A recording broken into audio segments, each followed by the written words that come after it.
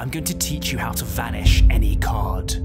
This takes less than 30 seconds to learn, so let me teach you how. Hold any card between your first finger, middle finger, and thumb. Extend your middle finger and pull back on the card. This will cause it to fly into your hand. Keep practicing this move until it's smooth. Now simply do it under the cover of your other hand and the card appears to vanish. Like and follow for more amazing magic.